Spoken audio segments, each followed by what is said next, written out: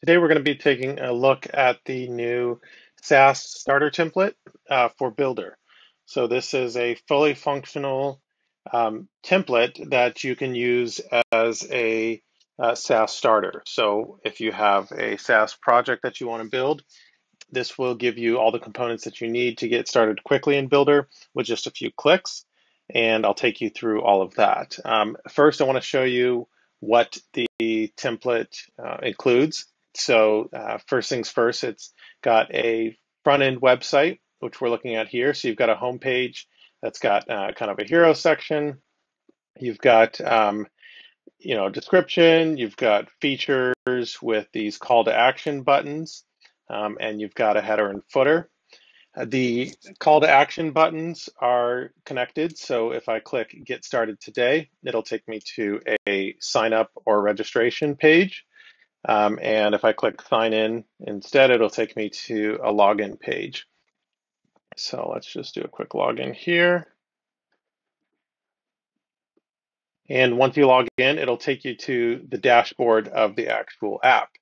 Um, so this is what your logged in users will see. Um, on the dashboard, I've got a few um, widgets at the top for active customers, active tasks, and active team members um, with a couple of tables below for recent customers and recent tasks. If I look at the left-hand side, I've got a menu. Um, so if I navigate to the second item on the menu, I can look at customers view. It's got a list of customers, the tasks view, and lastly, the team members.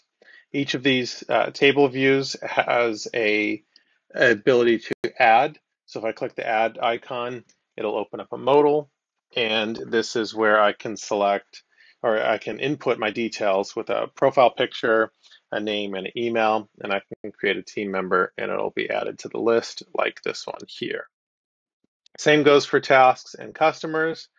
Um, and there's also an account view. So if I click on account, I can see my account details. I can change my name and I can pick a new icon for my profile. And in the upper left, there's my company name. If I click on that, I can see a window for the company detail where I can change the um, company icon and the name of the company.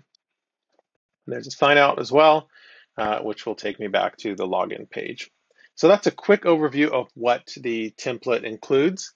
Um, in the next couple of videos, I will be taking you through how you actually import this template into Bildr, how it's set up and structured um, so you can understand all the components of the template. And then I'll uh, show you how you can customize the template to make it your own.